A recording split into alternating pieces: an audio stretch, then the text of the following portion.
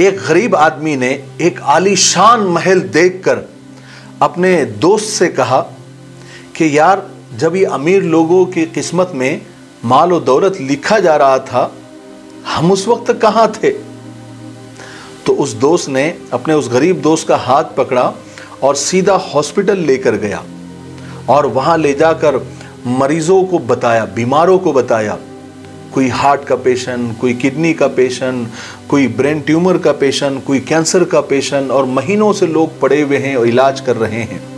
और अपने उस गरीब दोस्त से कहने लगा कि जब इन बीमारों की किस्मत में बीमारी लिखी जा रही थी, उस वक्त हम कहाँ थे?